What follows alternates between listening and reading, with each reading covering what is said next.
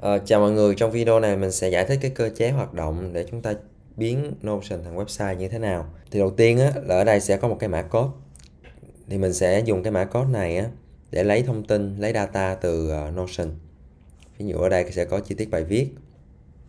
Rồi nó sẽ lấy những cái text này, lấy cái hình này, rồi lấy cái database, cái danh sách này. Sau đó nó sẽ tạo thành một cái uh, frontend giống như vậy thì sau đó thì mình sẽ dùng cái đoạn code này á mình upload lên trên một cái uh, đại khái giống như là hosting vậy đây này là cái virtual. Thì hoàn toàn free. Tức là nguyên giải pháp này á chúng ta sẽ cần một cái đoạn code. Chúng ta cần một cái à, Notion. À, một cái Notion một cái trang Notion để làm website. Cũng là nơi chúng ta edit uh, nội dung của website của mình.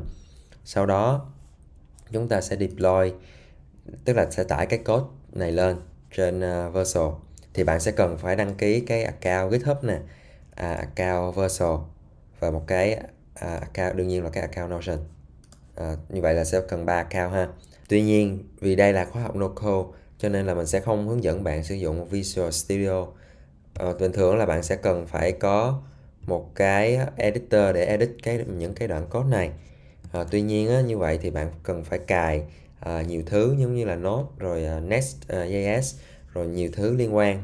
Nó sẽ gây ra rất là nhiều lỗi cho nên mình sẽ dùng giải pháp um, online luôn. Đó chính là gitpod thì gitpod nó sẽ thay thế cho việc bạn tự cài những cái chương trình phần mềm và bạn tự chạy cái phần mềm đó tự chạy cái đoạn code này cái uh, chương trình mã code này thì nó sẽ làm hết cho các bạn luôn và bạn làm online được không cần cài thêm bất kỳ gì luôn thì cái Gitpod này chỉ cần bạn có account GitHub là được bạn login với GitHub là sẽ ok. Thì mọi người uh, nhớ lưu cái trang này lại nha. Ở video lần sau là mình sẽ hướng dẫn mọi người xài những cái uh, tool này để kết hợp với nhau và làm website như thế nào.